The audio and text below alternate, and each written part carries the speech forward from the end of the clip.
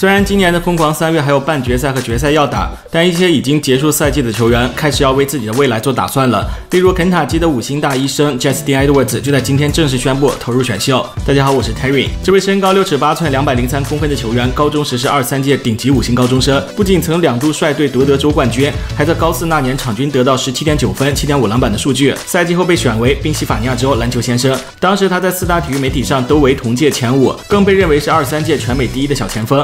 但在肯塔基的这个赛季，Edwards 表现难称优异，场均得到八点八分、三点四篮板，投篮命中率百分之四十八，三分球命中率百分之三十六点五。虽然在对阵阿拉巴马的二十八分是赛季代表之作，但整体表现普通，暂时没有兑现天赋。现在选秀行情为一轮末到二轮初。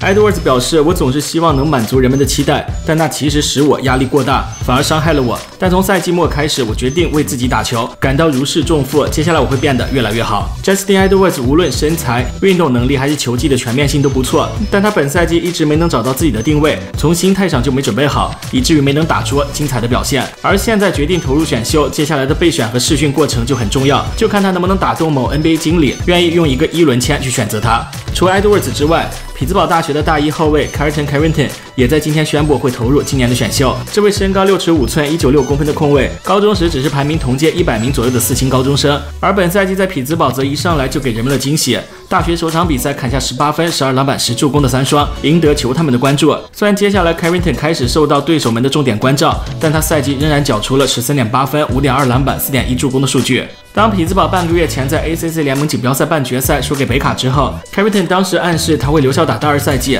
但过了两周后的今天，则决定投入选秀。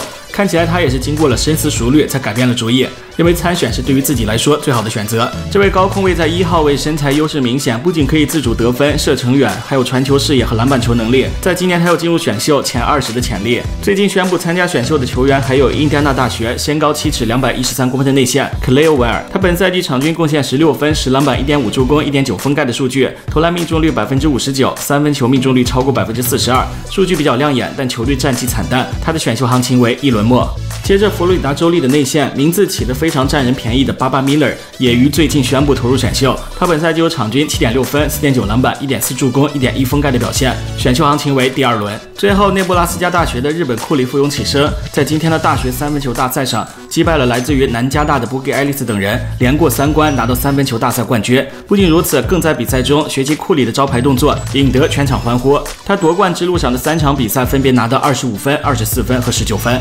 这位身高六尺二寸、一八八公分的球员，本赛季场均得到十五点一分、二点三篮板、一点四助攻、一抢断，投篮命中率百分之四十六点六，三分球命中率百分之三十七点六，罚球命中率百分之八十七点五，率领内布拉斯加杀入了疯狂三月。而他的下一站会去哪里，也备受瞩目。兄弟们，这本期视频感谢收看，我们下期再见。